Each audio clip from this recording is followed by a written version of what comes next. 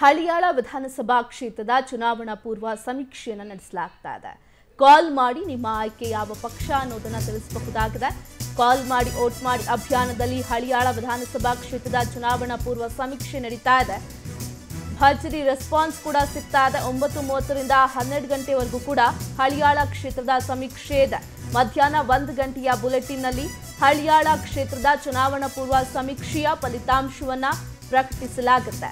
ಕಾಲ್ ಮಾಡಿ ಓಟ್ ಮಾಡಿ ಅಭಿಯಾನಕ್ಕೆ ಭರ್ಜರಿ ರೆಸ್ಪಾನ್ಸ್ ಸಿಗ್ತಾ ಇದೆ. ಬೆಳಗ್ಗೆ ಒಂಬತ್ತು ಮೂವತ್ತರಿಂದ ನಿರಂತರವಾಗಿ ಕರೆಗಳ ಮಹಾಪೂರವೇ ಪವರ್ ಟಿವಿಗೆ ಹರಿದು ಬರ್ತಾ ಇದೆ.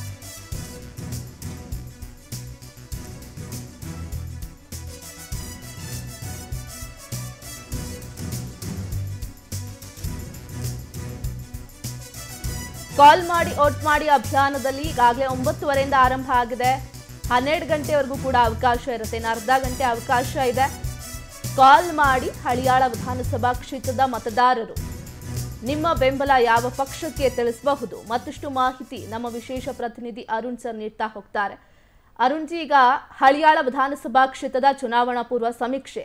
ಸೊ ಸದ್ಯಕ್ಕೆ ರೆಸ್ಪಾನ್ಸ್ ಯಾವ ಪಕ್ಷಕ್ಕೆ ಜಾಸ್ತಿ ಇದೆ? ಅಲ್ಲಿನ ಮತದಾರರು ಬದಲಾವಣೆ ಬಯಸ್ತಿದ್ದಾರಾ? ಈ ಕುರಿತು ಮಾಹಿತಿಯನ್ನು ತಿಳಿಸ್ಕೊಡೋದಾದ್ರೆ. ವಿದ್ಯಾ. ಹಳಿಯಾಳ ಜೋಯ್ಡಾ ವಿಧಾನಸಭಾ ಕ್ಷೇತ್ರ ಅಂದ ತಕ್ಷಣ ಒಂದು ಕಡೆ ಅರೆಮಲೆನಾಡು, ಇನ್ನೊಂದು ಕಡೆ ಕಾಡು ಆಧಾರಿತ ಕೃಷಿಯನ್ನೇ ನಂಬ್ಕೊಂಡಿರುವಂಥ ಬುಡಕಟ್ಟು ಜನಾಂಗಗಳು ಹೆಚ್ಚಾಗಿರುವಂಥ ಜಾಗ. ಅದರಲ್ಲೂ ಗೌಳಿ, ಸಿದ್ದಿ, ಕುಣಬಿ ಈ ಎಲ್ಲ ಜನಾಂಗಗಳಿರುವಂಥ ಜಾಗ. ಅಷ್ಟೇ ಯಾಕೆ ಕರ್ನಾಟಕದ ಹೆಮ್ಮೆಯ ದಾಂಡೇಲಿ ಇದೇ ಕ್ಷೇತ್ರದ ವ್ಯಾಪ್ತಿಗೆ ಬರುತ್ತೆ. ಒಂದು ಕಾಲದಲ್ಲಿ ಕಾಸ್ಮೋಪಾಲಿಟನ್ ಸಿಟಿ ಅಂತ ಅನ್ನಿಸ್ಕೊಂಡಿತ್ತು ಗ ದಾಂಡೇಲಿ ಇವತ್ತು ದುರಂತ ಆದರೆ ನೋಡಿ ದಾಂಡೇಲಿನಲ್ಲಿರುವಂಥ ಕೈಗಾರಿಕೆಗಳೆಲ್ಲ ನಶಿಸ್ತಾ ಇವೆ. ಮತ್ತೊಂದು ಕಡೆ ಇದೇ ಕ್ಷೇತ್ರದಲ್ಲಿ ಕೆಲಸ ಹುಡಿಕೊಂಡು ಯುವಕರೆಲ್ಲ ಹುಬ್ಬಳ್ಳಿಗೋ, ದ, ಗೋವಾಗೋ, ಧಾರವಾಡಕ್ಕೋ ಇನ್ನೆಲ್ಲೋ ಹೋಗೋ ಹಂಗಾಗ್ತಾ ಇದೆ. ಇದು ಹಳಿಯಾಳ ಜೋಯ್ಡಾ ಕ್ಷೇತ್ರದ ಒಂದು ದುಸ್ಥಿತಿ. ಸಾವಿರದ ಒಂಬೈನೂರ ಎಂಬತ್ತ ಮೂರರಿಂದಲೂ ಕೂಡ ಈ ಕ್ಷೇತ್ರದಲ್ಲಿ ಒಂದು ರೀತಿ ಅನಭಿಷಿಕ್ತ ಸಾರ್ವಭೌಮ ಅನ್ನಿಸ್ಕೊಂಡಿರುವಂಥವರು ಮಾಜಿ ಸಚಿವ ಆರ್ ವಿ ದೇಶಪಾಂಡೆ. ಈ ಬಾರಿ ಇದೇ ಹಳಿಯಾಳ ಕ್ಷೇತ್ರದಲ್ಲಿ ದೇಶಪಾಂಡೆಗೆ ಜನ ಸೋಲಿಸ್ತಾರಾ ಅಥವಾ ಗೆಲ್ಲಿಸ್ತಾರಾ? ಮೊದಲಿಂದಲೂ ಕೂಡ ಇಲ್ಲಿ ನೇರವಾಗಿ ಟಕ್ಕರ್ ಕೊಡ್ತಾ ಇರುವಂಥದ್ದು ಕಾಂಗ್ರೆಸ್ಗೆ ಬಿ ಜೆ ಪಿಯಿಂದ ಅದರಲ್ಲೂ ಬಿ ಜೆ ಪಿಯ ಸುನಿಲ್ ಮತ್ತೊಮ್ಮೆ ದೇಶಪಾಂಡೆ ಅವ್ರ ವಿರುದ್ಧ ಸ್ಪರ್ಧೆ ಮಾಡ್ತಾರೆ ಅಂತ ಹೇಳಲಾಗ್ತಾ ಇದೆ. ಹಾಗಾಗಿ ಈ ಬಾರಿ ಜನ ಯಾರನ್ನ ಆಯ್ಕೆ ಮಾಡ್ತಾರೆ?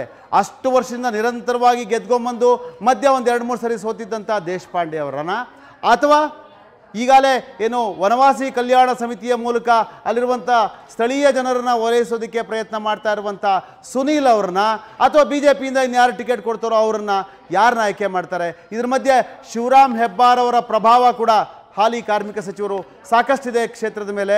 ಏನಾಗುತ್ತೆ? ಈ ಬಾರಿಯ ಒಂದು ಹಳಿಯಾಳ ವಿಧಾನಸಭಾ ಕ್ಷೇತ್ರದ ಫಲಿತಾಂಶ. ನಾವು ನೋಡೋಣ. ಇವತ್ತು ಬೆಳಗ್ಗೆಯಿಂದಲೇ ನಾವು ಹಳಿಯಾಳ ವಿಧಾನಸಭಾ ಕ್ಷೇತ್ರದ ತೊಗೊಂಡಂಥ ಸಂದರ್ಭದಲ್ಲಿ ಸಾಕಷ್ಟು ಕರೆಗಳು ಮಾಡ್ತಾ ಇದ್ದಾರೆ. ಜನ ಎರಡೂ ಕಡೆ ರೆಸ್ಪಾನ್ಸ್ ಚೆನ್ನಾಗಿ ಬರ್ತಾ ಇದೆ.